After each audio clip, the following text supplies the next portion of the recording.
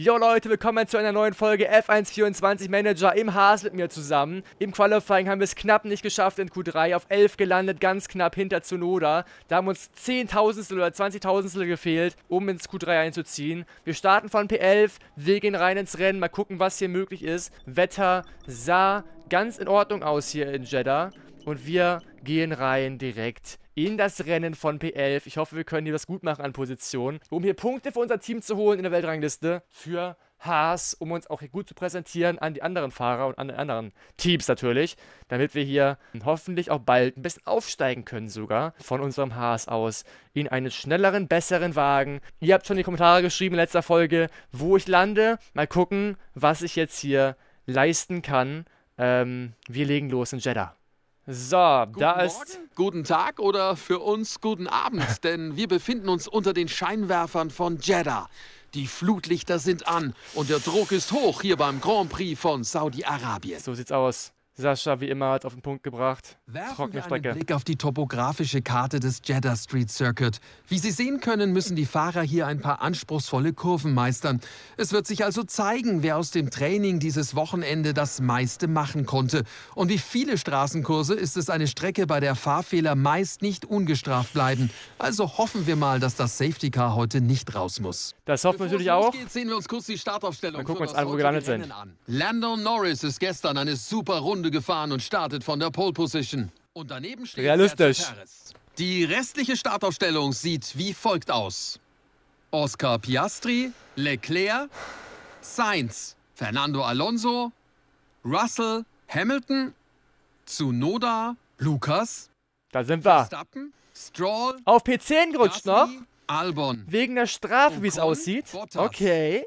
Hülkenberg, Joe, Ricardo und Logan Sargent. Aha, da gab's, die fünf roten Lichter erlöschen und wir sind gespannt, wer heute triumphieren wird. Da gab's also Strafen. Neben mir Wir in starten der von P10. Kommentatorenkabine sitzt mein alter Freund Stefan Römer. Du bist der Rennfahrer von uns beiden, also kannst du Römer. bestimmt auch einschätzen, wie die Gefühlslage gerade ist. Man muss vorbereitet sein, Sascha, bevor man überhaupt in das Auto einsteigt. Man muss einen Plan für die Zeit vor dem Rennen haben. sind wir. Man schaut sich Videos von früheren Rennen an, bevor man an. ins Auto einsteigt. Man weiß, wo man sein Auto hinstellen muss, wenn X, Y oder Z vor oder hinter einem sind. Es ist absolut wichtig, einen klaren Plan zu haben, bevor es losgeht. Hab ich nicht scheiße. Was machen wir jetzt? So, wir starten rein. Von P10 aus hier in Jeddah. Haben die soften Reifen ausgewählt, weniger Sprit reingepackt. Soft Medium ist unsere Strategie. Von P10 aus, um hier direkt loszupushen. Wir gehen direkt rein.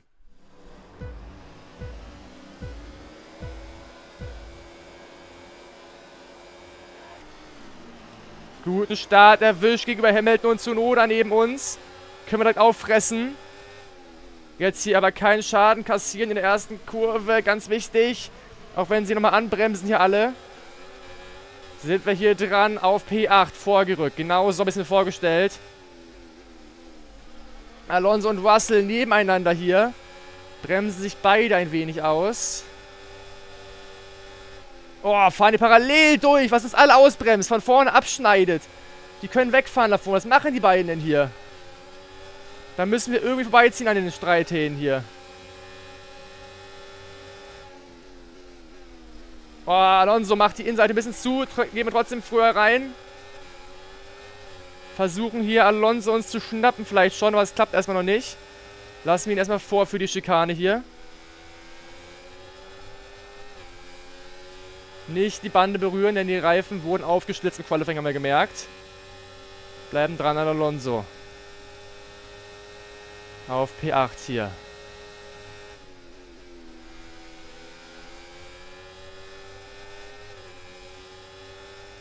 Müssen uns irgendwie hier halten in unserem Haas. Wird schwer, glaube ich. Gegen die Jungs hier zu performen.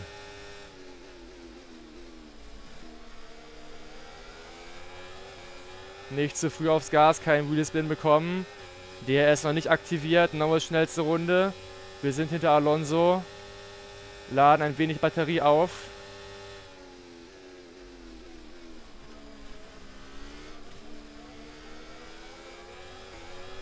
Oh, ein bisschen Wagen verloren, passt aber.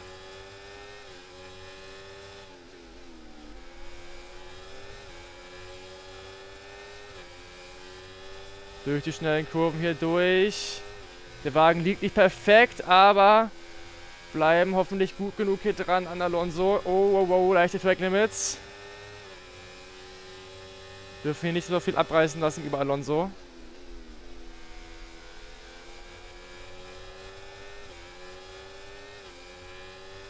Der hier schon wegziehen möchte ein wenig.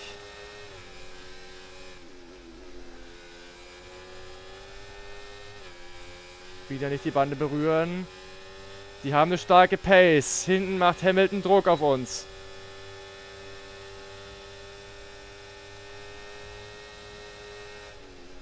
Müssen hier schon mit ERS ein bisschen hantieren, um bei Alonso dran zu bleiben.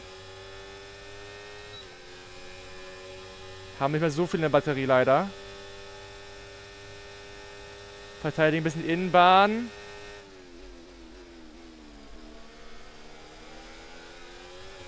Raus geht's auf Start und Ziel. Haben nicht viel ERS, müssen gleich ein bisschen sparen. Aber erstmal kurz was raushauen, nochmal, um vorne zu bleiben.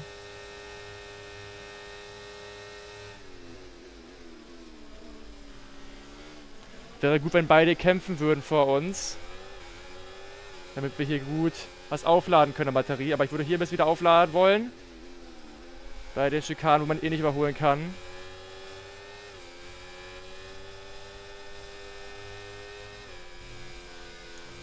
Noch sind die Reifen gut, kommt man hier gut durch, durch die Kurven. Sobald die Reifen ein bisschen nachlassen, wird das hier schwieriger. Die Reifen haben schon 10, 11 Prozent. Werden attackiert auf der Außenseite, sehe ich gerade. Oh, oh, oh, oh, er fängt an, uns ein bisschen einzuhaken. Der liebe Hamilton auf den Mediums. Das hat den Reifen nicht so weh getan. Nee, passt. Das lassen wir nicht mit uns machen.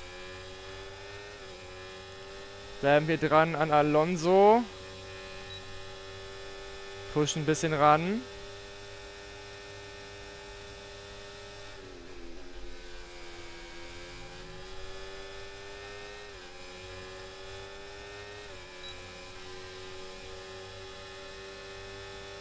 Bleiben im DRS-Fenster, sehen aber auch hier Hamilton wieder, der angreifen möchte.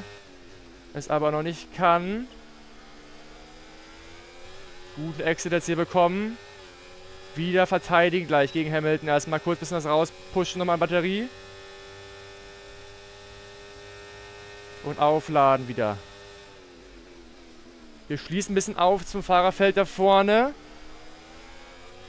Das ist gut für uns, dass wir ein bisschen die Pace runterfahren können. Um Batterie aufzuladen. Aber es müssen trotzdem im DS-Fenster bleiben von Alonso. Das ist wichtig.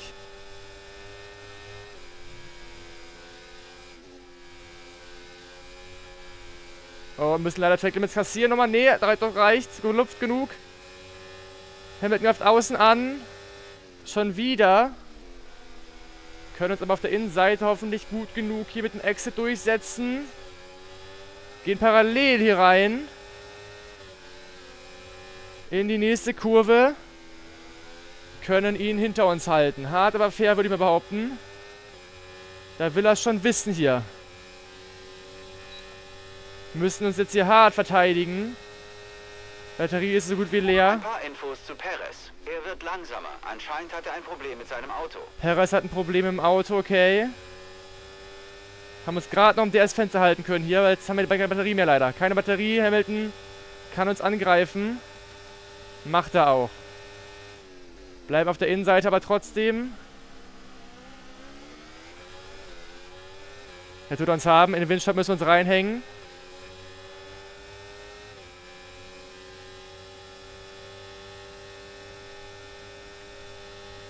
Außenrum um Hamilton. Um in der nächsten Kurve innen zu sein. Können ihn nicht halten, leider. Hat auch bessere Auto natürlich.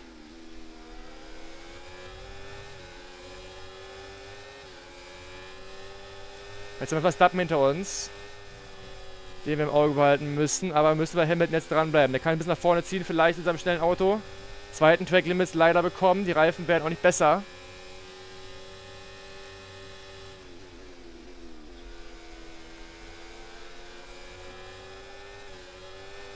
Die Reifen werden nicht besser. Wir sehen's, wir sehen's, wir sehen's.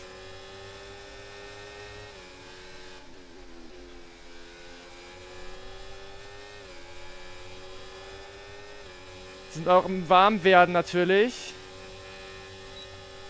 Müssen uns aber trotzdem hier ranhalten an Hamilton.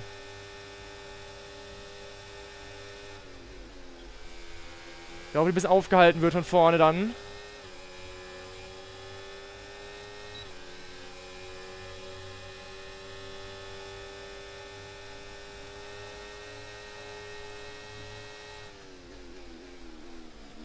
Wird aufgehalten, der Hamilton. Der ist haben wir doch gerade so bekommen. Ist das knapp hier alles? Die ersten fahren in die Box. Wir bleiben noch eine Runde draußen, würde ich sagen. Haben den Undercut hier verpasst. Bleiben hier an Hamilton, Perez und Russell erstmal dran. Eine Runde länger. Hoffen vielleicht noch auf einen Safety Car oder irgendwas, wenn die hier auf gebrauchten Reifen noch am Kämpfen sind.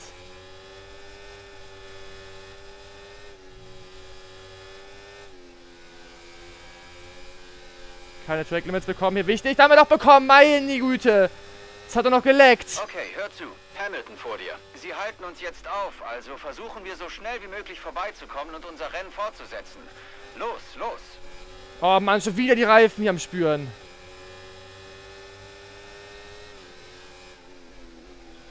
Hamilton wird uns aufhalten, wurde uns gerade gesagt. Die Reifen machen echt Probleme. Wir sind viel zu spät in der Box, hätten gerade echt reingehen müssen.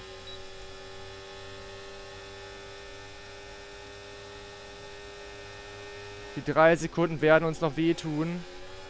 Wegen den Track Limits.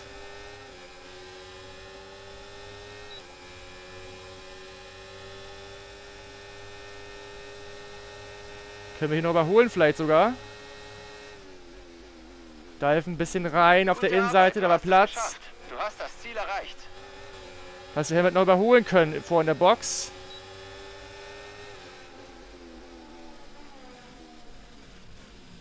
Bremsen hier ein bisschen langsamer in die Box rein, vorsichtig. Nico macht seinen Boxenstopp. Ich hoffe, es passt aber. Seid bereit, Leute. Es passt, jawohl. Nico macht hinter uns den Boxenstopp. Sein Pech.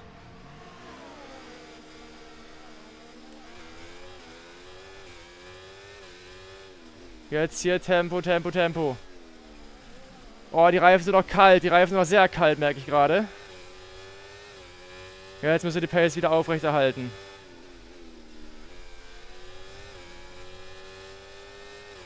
Die Reifen auf Temperatur erstmal bringen. Die noch sehr kalt sind. Einfahren erstmal. Die drei Sekunden tun natürlich weh. Esteban Ocon disqualifiziert. Können nicht an Science dranbleiben im Ferrari leider. Aber die Reifen sind jetzt wärmer.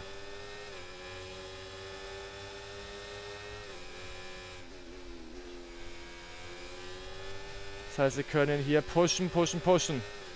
Um den Undercut hoffentlich zu schaffen. Gelb kurz in einem Sektor gesehen gerade. Halten uns erstmal vor Stroll, ohne ERS einzusetzen.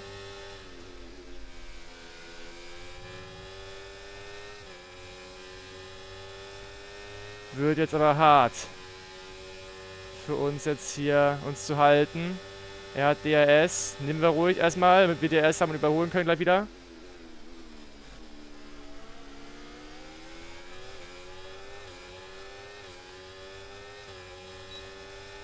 Beziehungsweise ein bisschen aufladen vielleicht erstmal. Ja, vielleicht reicht es sogar schon, um anzugreifen. In antäuschen, außenrum. Reicht noch nicht. Wir laden erst ein bisschen auf auch.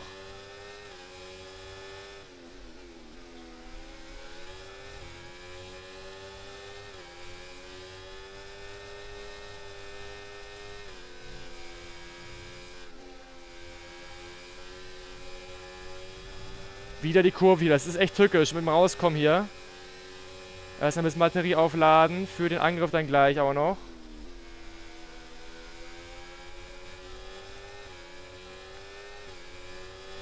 Halten wir uns bereit.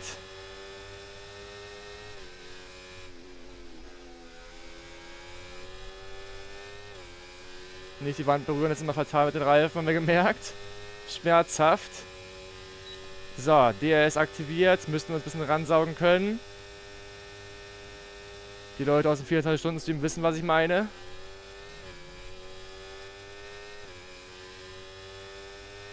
Wir sparen ganz viel Batterie erstmal auf hier. Nix an ERS verschwenden.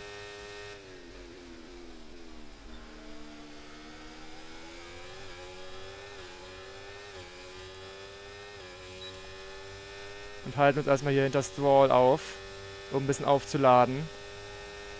Wir werden ihn früher oder später noch knacken können. Haben eine bessere Pace als der Aston Martin hier vor uns.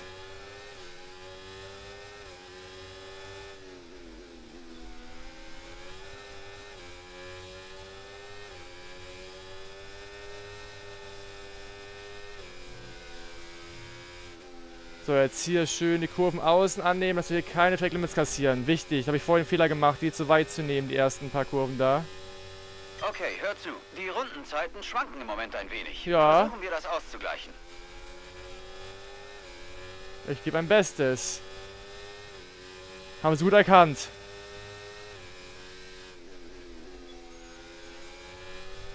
Versuchen die konstant zu halten, die Rundenzeiten.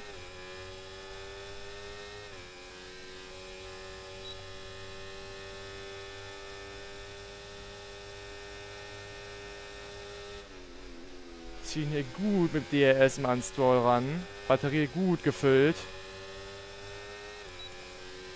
Bisher kein Safety Car, nix. Vorn angreifen, Leclerc wird glaube ich nichts mehr werden. Werden wir noch versuchen können vielleicht. Jetzt hier... Oh, Stroll beim Fehler, mit dem Fehler! Stroll verbremst sich hier in die letzte Kurve. Das ist unsere Chance.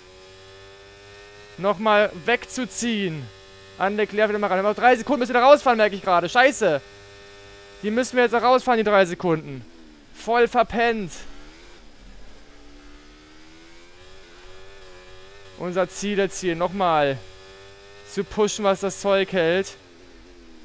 Um die Punkte zu sichern durch die 3 Sekunden Strafe.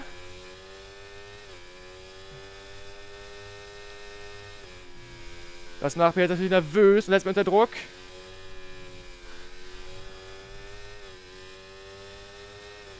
Dass wir die Punkte gut mitnehmen können hier.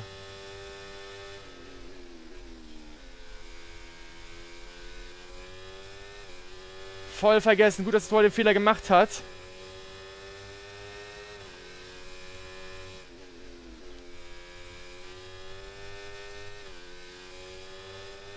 Bei drei Sekunden Ausfall gegen Stor wird, glaube ich, hart. Gute Energie gespart, aber er ist nicht langsam.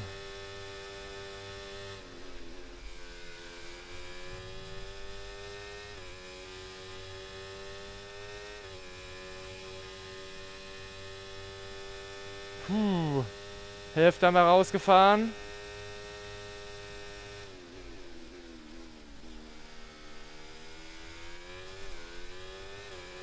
Weiter pushen, was das Zeug hält.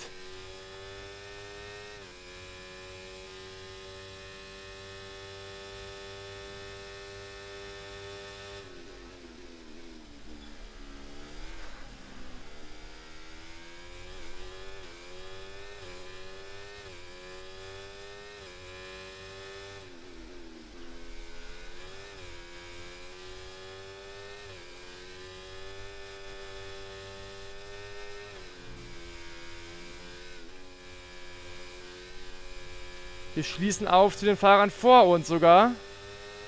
DRS wäre natürlich super.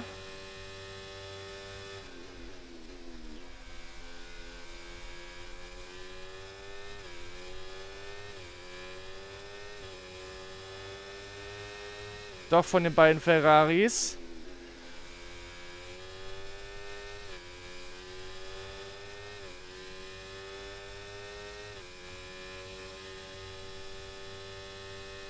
Weil die beiden kämpfen anscheinend.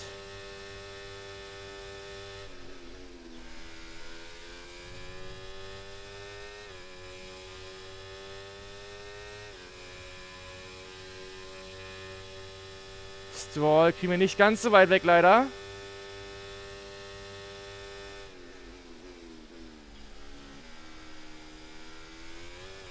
Kommen wir weit raus, aber besser als Stroll bekommen die Kurve. Minimal. Oh, er holt wieder auf. Okay, Wird schwer. Super. Du hast das Ziel erreicht. Gute Arbeit. Die ziehen wieder weg, die Ferrari.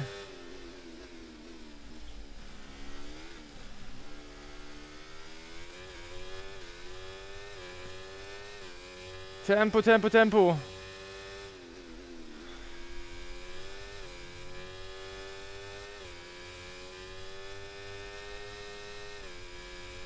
Wo hat denn der Store die Pace hier auf einmal wieder? Die machen auch jetzt langsamere Zeiten. Er sitzt uns im Nacken, wir kriegen ihn nicht raus.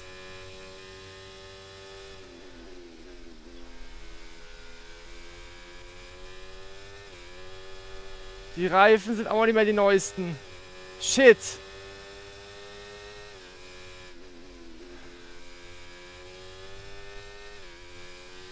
Eins, vier. Das wird nichts mehr. Außer er macht noch einen Fehler. Haben wir nicht mehr so viel ES zum rauspushen.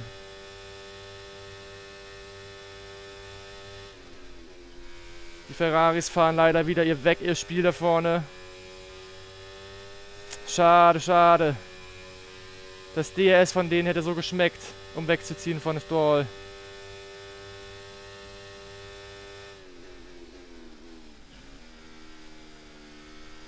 Oh, die Reifen werden immer härter hier. Letzte Runde nochmal. Stroll kommt dran. Piastri in der Box! Das tut es gut. Stroll kommt aber ins DS-Fenster mal rein.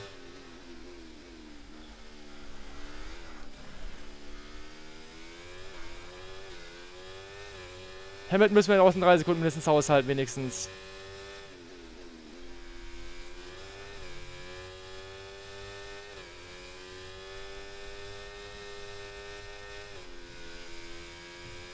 Keinen Fehler großen machen.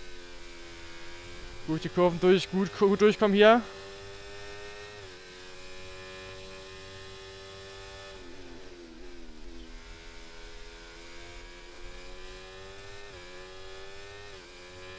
Weiter pushen, was das Zeug hält. Hier erst nochmal auf Potlap stellen. Nicht den Wagen hier verlieren, auch wenn wir pushen müssen.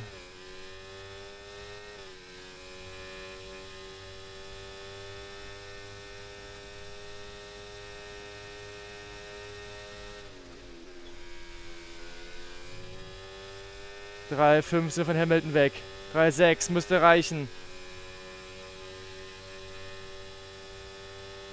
Hoffentlich. Wenigstens auf der Strecke noch geschlagen, wie es aussieht.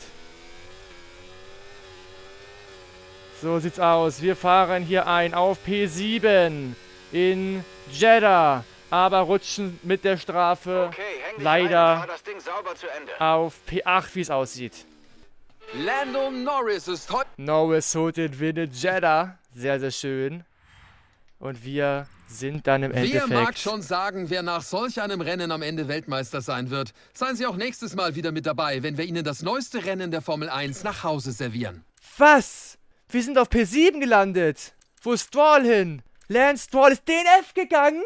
Wo das denn? Speichern wir einmal ab, gucken wir uns an, was mit Stroll passiert noch. Der war doch hinter uns. Hä? So, er biegt ein auf Start und Ziel.